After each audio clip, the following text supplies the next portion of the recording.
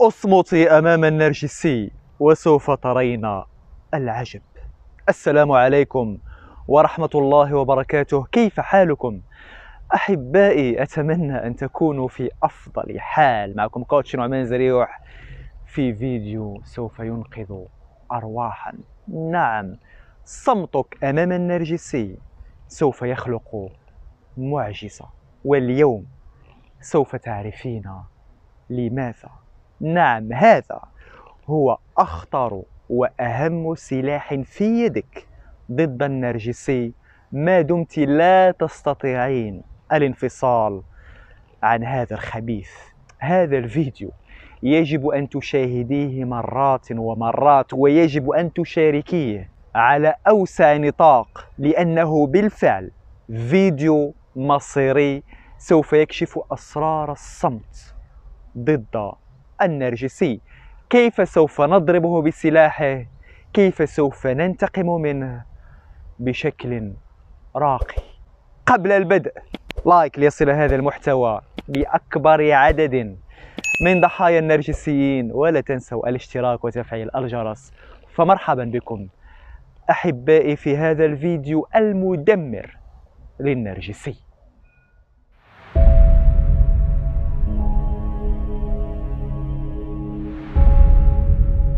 قبل البدء وكالعادة أذكر أنني أتوجه للمرأة على أنها ضحية فقط للتبسيط. إذا كنت رجلا يا أخي العزيز أذكر بهذا وتشاهدني الآن فما عليك سوى قلب الأدوار؟ نحن نعلم جيدا أن 50% هم نرجسيون و50% نرجسيات. كما أذكر أنه تحت هذا الفيديو مباشرة في خانة الوصف وفي أول تعليق مثبت هناك رقم واتساب. لمن يحتاج لاستشارات شخصية معي؟ مباشرة. النرجسي الخبيث هو كائن مدمر. النرجسي هو عاصفة تمر على حياة كل ضحية. هذه العاصفة بطبيعة الحال فهي تترك بقايا آثار تترك حطاما في حياة جميع الضحايا.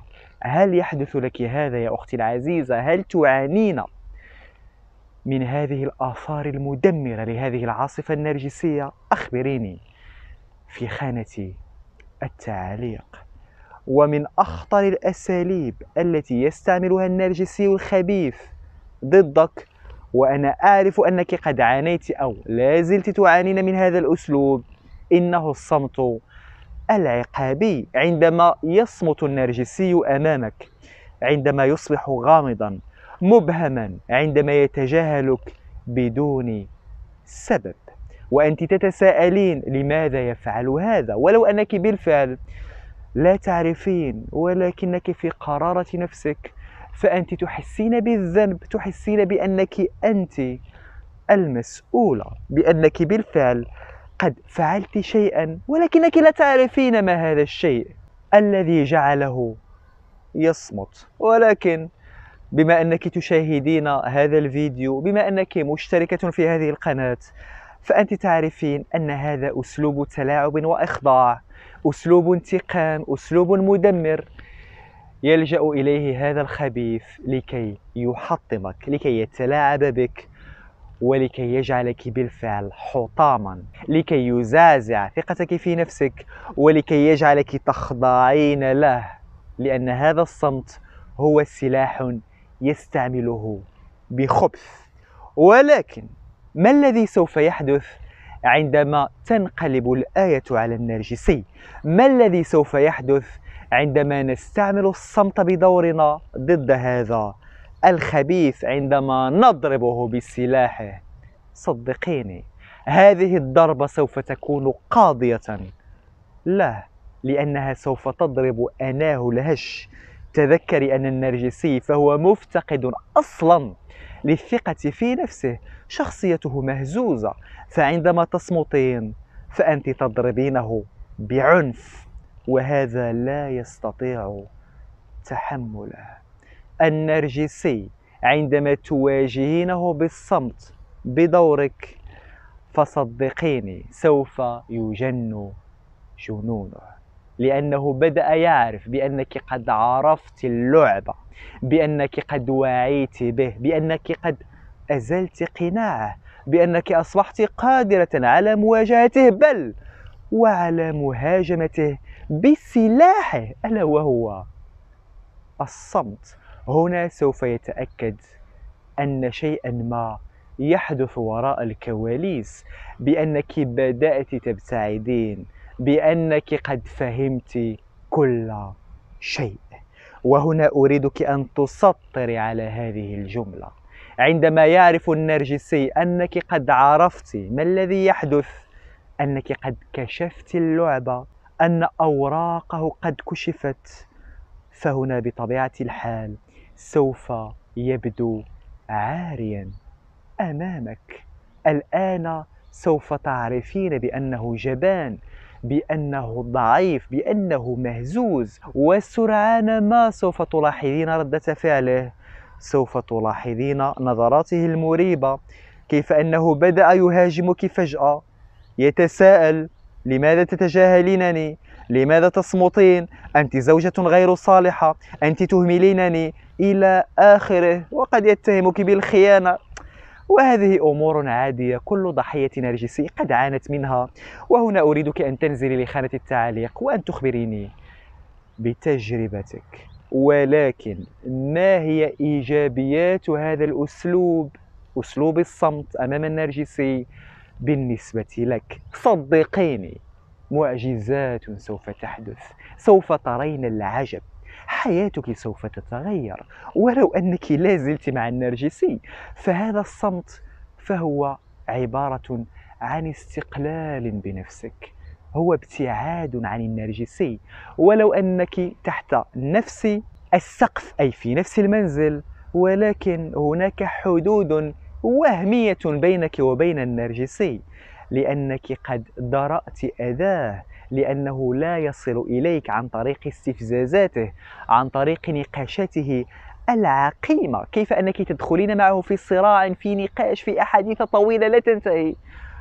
وأصلا عندما تنتهي هذه الأحاديث فأنت لا تتذكرين أصلا لماذا بدأت هذا النقاش. ألا يحدث هذا؟ أخبريني في خانة التعاليق لأنك تدخلين في زوبعة في فوضى وهذا يفعله النرجسي عمدا حتى يتلاعب بك حتى يخرجك عن شعورك حتى يجعلك تفقدين السيطرة على الحديث وتخضعين له. ولكن عندما تصمتين فأنت لن تعاني من هذا.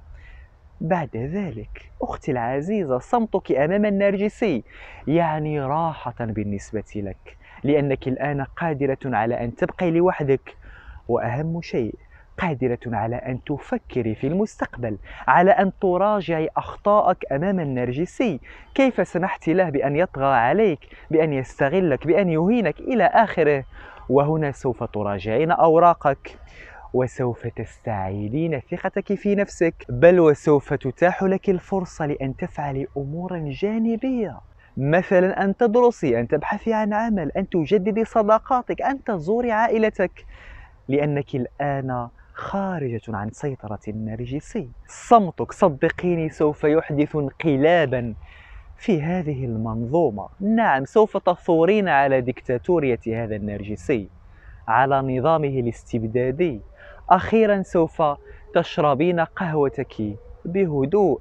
هذا هجوم على النرجسي ولكنه هجوم راقي أنيق. نعم نحن نخبة في هذه القناة. نحن محترمون نحن ذو نوايا صافية حتى أساليبنا أمام النرجسي فهي أساليب راقية ليست منحطة كهذا الخبيث. وهذا الصمت فهو بطبيعة الحال أسلوب راقي لكي تستعيدي حريتك المفقودة لكي تستعيدي كرامتك وأيضا لكي تهاجمي النرجسية بعنف. وبهدوء بثقة في النفس باعتزاز بكرامتك. هذا الأسلوب صدقيني هو سوف يخلق معجزة أمام النرجسي. سوف ترين العجب. كل شيء سوف يتغير. ولو أنك لا زلت معه فصدقيني هذا الصمت سوف يحدث طفرة في علاقتك معه.